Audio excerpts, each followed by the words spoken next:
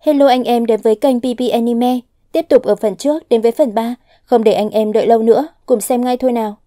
Bà bà vẫn chưa hiểu chuyện gì đang xảy ra, họ vừa truyền bóng thì Kuro lại cướp để cho Taiga ghi bàn. Kuro có vẻ như tức giận vì đội kia hống hách và không coi ai ra gì. Rico bảo họ hãy gia tăng hàng phòng ngự và không để họ tăng tỷ số là họ cũng có thể thắng. Taiga tiếp tục kèm Papa, nhưng cậu ta quá cao khi nhảy lên nên Taiga không làm gì được. Ngay sau đó đội trưởng ném vào đồ xịt thì Taiga lại gỡ lại bàn vừa nãy. Taiga ngày càng ngày càng nhảy cao hơn Papa, khiến cậu ta gặp rất nhiều rắc rối. Có một học viên ném được 3 điểm nên sợ bị san bằng tỷ số. Chị ấy bảo Kuro vào sân và họ lại lấy lại tỷ số.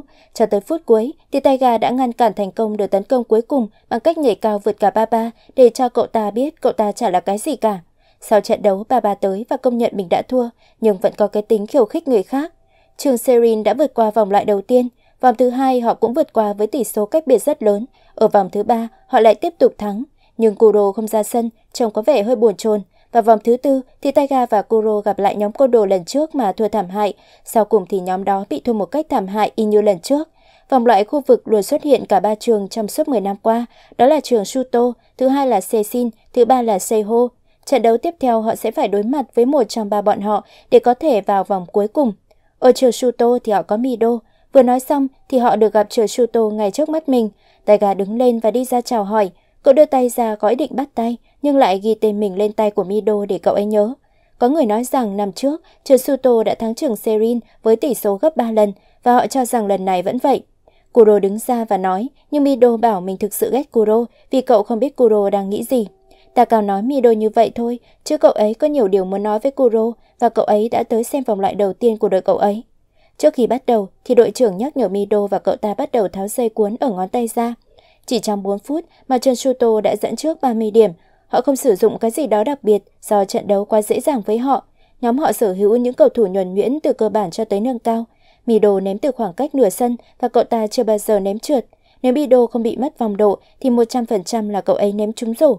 Đội trưởng có linh cảm Mido chưa sử dụng tới năng lực thực sự của mình. Mido chỉ đứng một chỗ và ném, cũng có thể khiến tỷ số trở nên tách biệt rõ ràng. Nhóm Serin định về, nhưng họ còn một trận đấu trong ngày hôm nay nữa. Trận đấu trong ngày, họ sẽ đối với trưởng Seho, một trong ba trưởng mạnh nhất khu vực này trong 10 năm qua. Nếu thắng thì họ mới có thể gặp được trường Shuto. Taiga thấy phấn khích và Kuro cũng cảm thấy vậy. Taiga có vẻ ăn nhiều hơn thường lệ vì do hai trận đấu ngày hôm qua. Chị Rico nhờ họ đi bê đồ dùm, trong thùng họ bê là đĩa DVD ghi lại trận đấu năm ngoái và năm nay. Chỗ Mido cũng có đĩa DVD của trận đấu trừ Seho, nhưng cậu ấy có vẻ không quan tâm lắm. Taiga để quên khăn ở phòng thay đồ và tới đó lấy. Kuro lại xuất hiện đột ngột khiến anh giật mình và cậu ấy cũng đang quên đồ ở đây. Hai người họ để ý thấy huấn luyện viên có quên một đĩa DVD ở đây. Sau khi xem qua thì Mido cũng hiểu vì sao Seho lại được gọi là hoàng đế, vì họ có một hàng phòng thủ khá mạnh. Kuro xem qua và cũng thấy nhịp điệu của họ có gì đó khác lạ. Bọn họ được huấn luyện đặc biệt và được cho là hàng phòng thủ mạnh nhất Tokyo. Hồi trước, đội Nege cũng từng đấu với đội của một tên đầu chọc tên là Suga. Hắn luôn biết cách bẫy người khác vi phạm lỗi trong khi thi đấu, kể cả Kai cũng từng bị đồng đội nói một lần do hắn rồi. Mido cũng ngán ngẩm khi đấu với đội Seho vì hàng phòng thủ của họ đạt cấp quốc gia. Xem xong thì họ dự đoán CG sẽ rất khó để vượt qua bức tường Seho. Rico và mọi người xem xong thì cũng thấy áp lực dần nên đội trưởng của họ nảy ra một ý. Ở sân tập thì Taiga để ý Mido, nhưng đối thủ kế tiếp của họ là Seho đang tập sân kế bên. Taiga nhìn qua thì thấy họ khá mạnh, mặc dù đội họ không có cầu thủ nào cao lớn vượt trội cả. Đang lúc rời đi thì Suga bắt đầu bêu cáo Taiga khiến Rico tức giận. Đội trưởng ra gõ vào đầu cậu và bắt cậu phải xin lỗi lại. Nhưng đội trưởng bên đó thì nói thẳng tắp là mình sẽ thắng vì Siri quá yếu. Cài xem bói toán từ vi online và cậu ấy nói rằng có vẻ có điểm xấu. Ở phòng thay đồ của Seho thì họ cũng cần nhắc để phòng tay ga còn bên phòng của đội Siri thì mọi người có vẻ rất căng thẳng. Để cổ vũ tinh thần thì Rico bảo nếu họ thắng thì cô sẽ cho bọn họ một nụ hôn lên má, nhưng mọi người lại có vẻ không vui lắm. Đội trưởng chửi họ một trận vì không trả vờ hạnh phúc, Rico tức giận chửi bọn họ một trận cho họ tỉnh ngộ. Năm ngoái khi mà thua trường Seho thì các senpai rất kết bấm rổ và gần như muốn từ bỏ nó, nhưng cuối cùng họ cũng vượt qua nó và lao vào luyện tập, giờ là lúc thay đổi lịch sử và anh ấy tin lần này họ sẽ thắng trường Seho. Kuro nói với Taiga rằng mình từng rất ghét bóng rổ và anh hiểu cảm giác của các senpai khi phải ghét thứ gì đó mà mình yêu thích. Hai đội ra chào hỏi nhau và trọng tài bắt đầu tuyên bố trận đấu bắt đầu. Kai và đội trưởng của cậu ấy tới xem, nhưng Serin đang thua 12 điểm trong vòng 6 phút, hàng phòng thủ của họ rất chắc chắn và Taiga không thể vượt qua.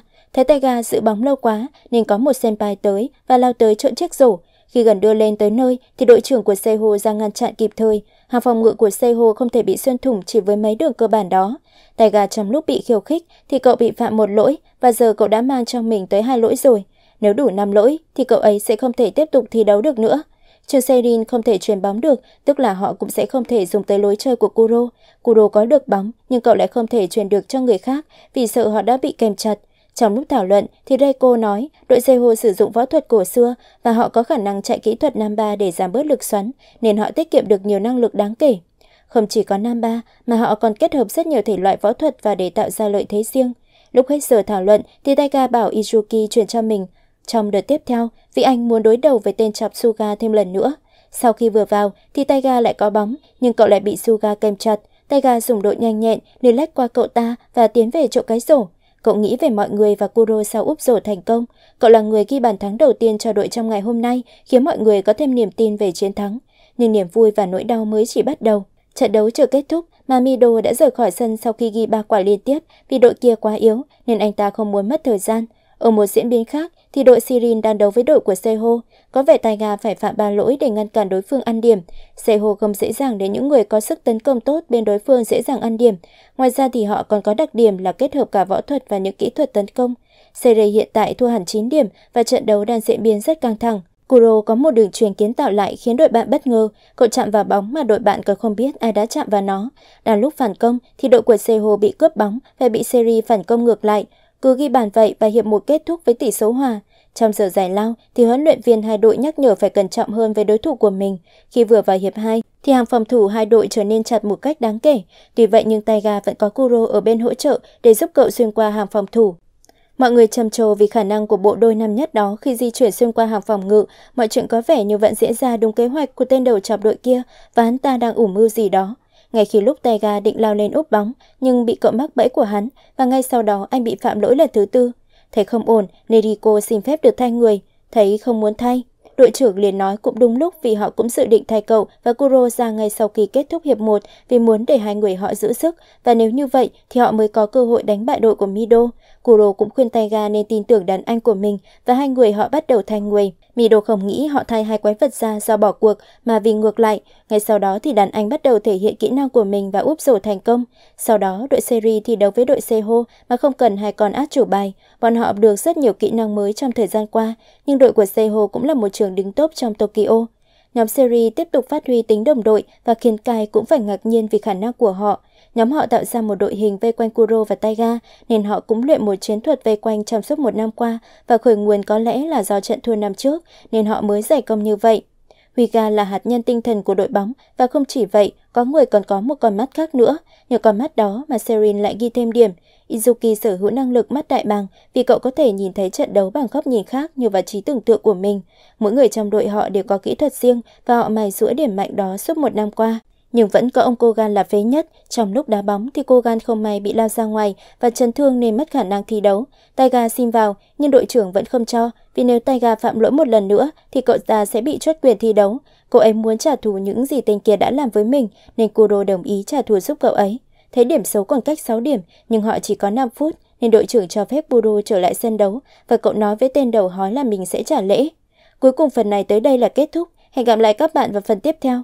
Đừng quên bấm like và đăng ký nhé!